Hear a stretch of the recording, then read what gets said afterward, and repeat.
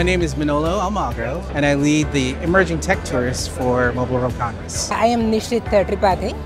I am uh, 5G Prime at uh, Award Solutions. This tour uh, gave me and uh, our participants an opportunity to look at the types of companies that would be part of the overall ecosystem Hi, my name is Rebecca Shish. I run IoT tours. We go across the, the show floor and we stop at around 10, 11 stops. This is a big show. There are many, many booths, many, many stands you can go to. So the tour gives us an opportunity to get the overall picture of the cellular ecosystem in a very short time. We'll do things like AI, we'll do robotics, we'll do drones.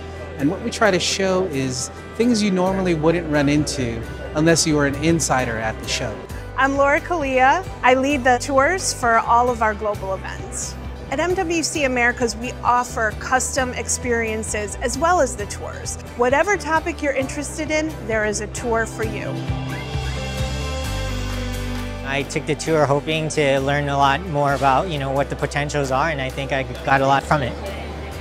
I needed to understand better the evolution of 5G technology and how it would impact our investments in our portfolio, and I, I learned a lot. When we stop by a specific company, that that company gets a lot of visibility because in a big show, you never know how many people will stop by your specific booth. But when the tour stops by your location, right? Then not only the participants, but the people around the tour participants, they also observe that, hey, what is happening here? And the tour participants will often stop by again to learn more about the products. Why did we sign up to be part of the tour? Why would we not? We've had everybody from MBA students all the way to executives from the carriers. From our perspective, we found a great deal of value for prospects to come into our booth on the tour. We've had a great time with this tour, stopping by and getting a chance to talk to talk to folks about what we do.